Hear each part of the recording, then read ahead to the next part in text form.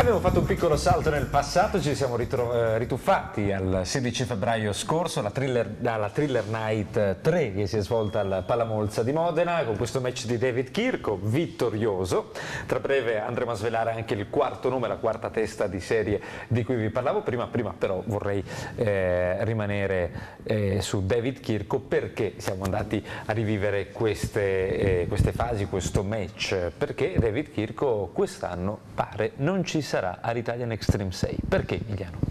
Beh, innanzitutto, come avete potuto vedere, i miglioramenti di, di David sono stati notevoli. Su David ci sono parecchi progetti, la cosa interessante è che allacciandoci al discorso che stavamo facendo,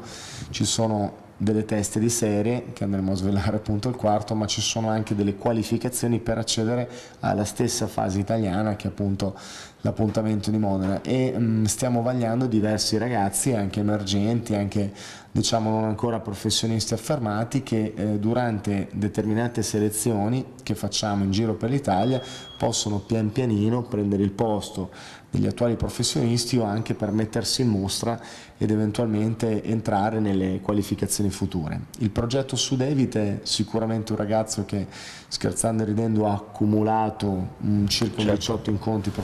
professionistici, cioè 18 incontri di cui gli ultimi 6 o 7 senza protezioni, è un ragazzo che mediamente eh, fa parte della categoria dei welter, lui è fino a 67 kg, si sta pian pianino anche con un programma di potenziamento, sta cercando di irrobustirsi per arrivare ai 70 kg e magari non dico tanto quest'anno ma per il prossimo anno potrebbe essere uno dei ragazzi che entra a far parte praticamente della, de, dei probabili anche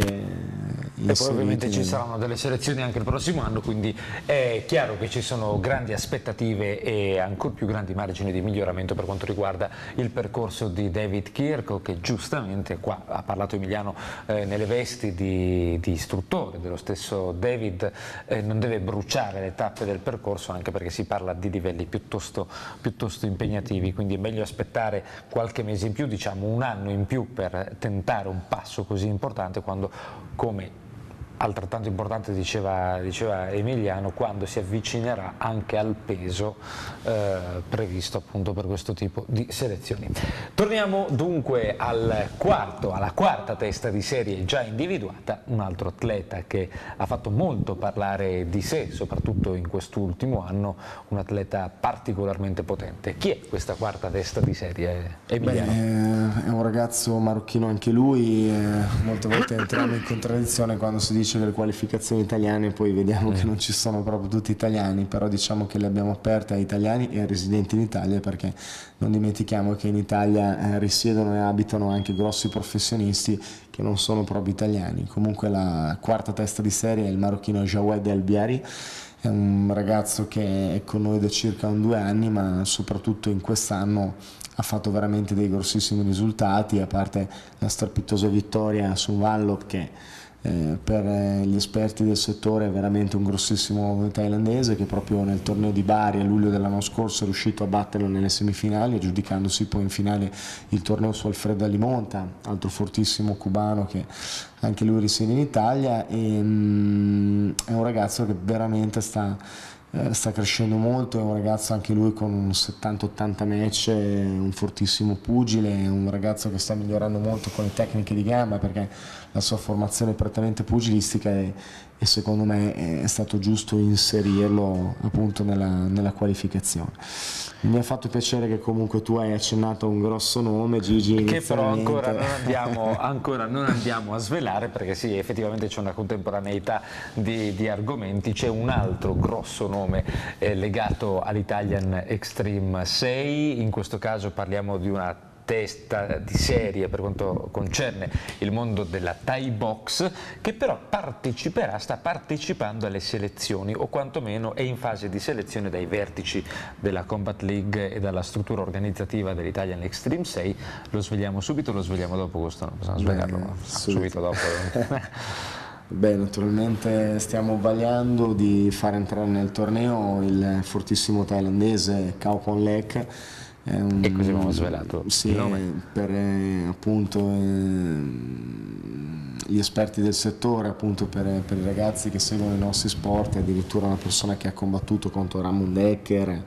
quindi è un combattente che risiede in Italia già da diversi anni, diciamo che più che altro lui è uno specialista proprio di box thailandese, quindi di Muay Thai. Ecco, addentriamoci su questa precisazione che hai fatto, è uno tra i numeri uno uh, della Thai Box, eh, Thai Boxer eh, anche di questo livello che possono incontrare non pochi problemi nell'approccio al K1. Perché? In Beh, sintesi Emiliano. Mm, questo è un argomento che abbiamo già affrontato. Il regolamento K1 diciamo che è un regolamento che toglie un po' le armi eh, del, del Thai boxer puro. Eh, ripetiamo che non, esist- non, non, non sono ammesse le gomitate e soprattutto il clinch è molto ridotto. Quindi parlando di clinch che è il corpo a corpo e eh, togliendo le gomitate eh, per quanto riguarda un thailandese in particolare, ma anche proprio un esperto di Muay Thai, togli eh, parecchio del proprio potenziale offensivo. Certo, quindi, certo, quindi eh, vai fossero... a bloccare eh,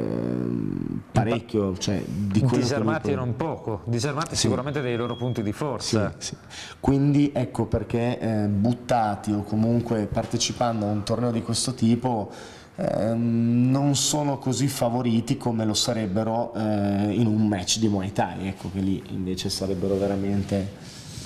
eh, problemi seri per chi se li trova di fronte. Perfetto, andiamo a rivivere altre emozioni in questo momento di, legate a un altro match, in questo caso un incontro che ha visto protagonista un altro atleta del gruppo sportivo Shoot Team di Modena, sto parlando di Rafik Magbu che è salito sul ring qualche tempo fa, non svegliamo nulla sull'esito del match ovviamente e, e nemmeno sul suo avversario, vediamo con chi ha combattuto.